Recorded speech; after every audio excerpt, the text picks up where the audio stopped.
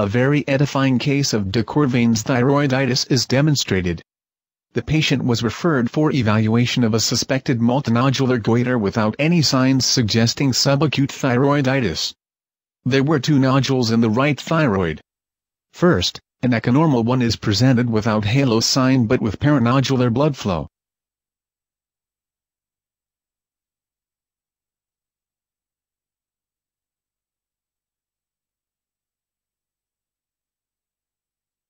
The longitudinal view demonstrates another nodule in the lower pole of the lobe on the right in the video. This is a hyperechogenic inhomogeneous nodule.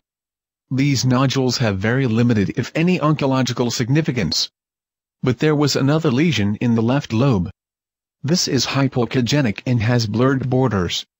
These properties belong to the most specific signs of papillary cancer, but also of subacute thyroiditis.